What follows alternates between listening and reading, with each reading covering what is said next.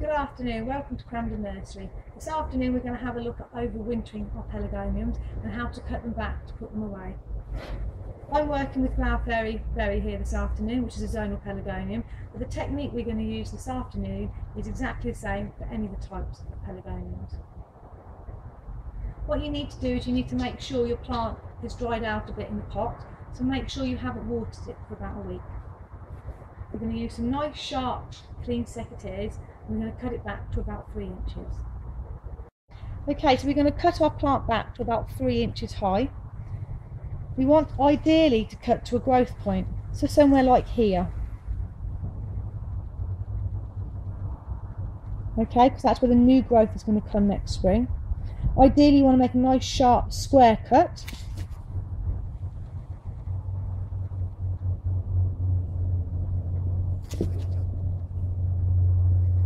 and then work your way round the plant cutting to these growth points or just above them.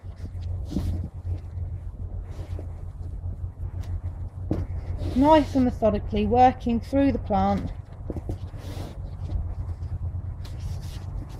Taking all those stems down to about three inches. If you can't cut to a growth point if it's too long then cut it halfway in between that's fine once you've taken all the stems off, you can start taking all the leaves and any extra flowers off. Okay? The reason we take all the leaves off is to reduce the problem of botrytis. Botrytis can be seen as a grey mould and can actually destroy all of the plant. So by taking all the leaves off, reducing that problem. So just work round the plant nice and methodically to get it done and you might find that there's a few stems that need chopping as you go along.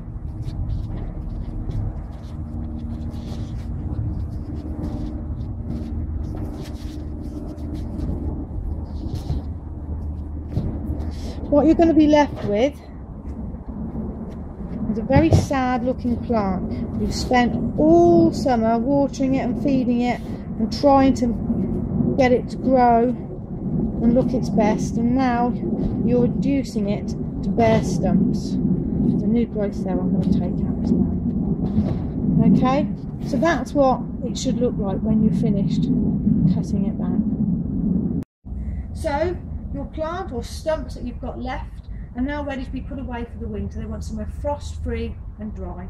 If you want any more for, want any other information on how to cut back your plants, have a look at our Facebook page and the notes section. It will give you more details there. Or you can look on our website www.cramdennursery.co.uk and you'll find further links to take you into that.